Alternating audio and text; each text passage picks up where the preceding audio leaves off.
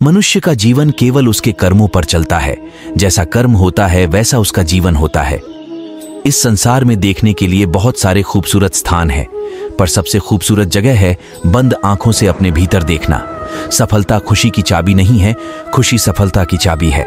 आप जो कर रहे हैं, उससे अगर आप प्यार करते हैं तो आप ज़रूर सफल होंगे। बीता हुआ कल जीवन को समझने का एक अच्छा मौका है, और आने वाला कल जीवन को जीने का एक दूसरा मौका। अनुमान मन की कल्पना है और अनुभव ज़िंदगी का सबक है। सच्ची खुशी तभी होती है जब आपकी सोच, कथन और कर्म में समानता हो। जैसे तेल समाप्त हो जाने पर दीपक बुझ जाता है। उसी प्रकार कर्म के क्षीण हो जाने पर भाग्य भी नष्ट हो जाता है।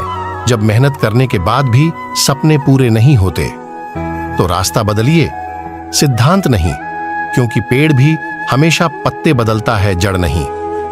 मौन सबसे अच्छा उत्तर है किसी ऐसे व्यक्ति के लिए जो आपके शब्दों को महत्व नहीं देता।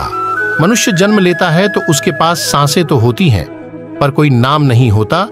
जब मृत्यु होती है तो उसके पास नाम तो होता है, पर साँसें नहीं होती। इसी सांस और नाम के बीच की यात्रा को जीवन कहते हैं।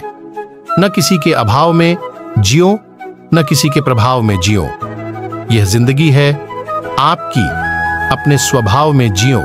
किसी के प्रति मन में क्रोध लिए रहने की अपेक्षा उसे तुरंत प्रकट कर देना अधिक अच्छा है। जैसे क्षण भर में जल जाना देर तक सुलगने से अधिक अच्छा है। मित्र गरीब है या अमीर, मायने नहीं रखता। बल्कि वो आपके बुरे समय में आपका साथ कितना देता है, यह मायने रखता है। इंसान चाहे जितना भी खुद को व्यस्त रख ले, जिससे वो प्रेम करता है, उसकी यादों से नहीं बच सकता।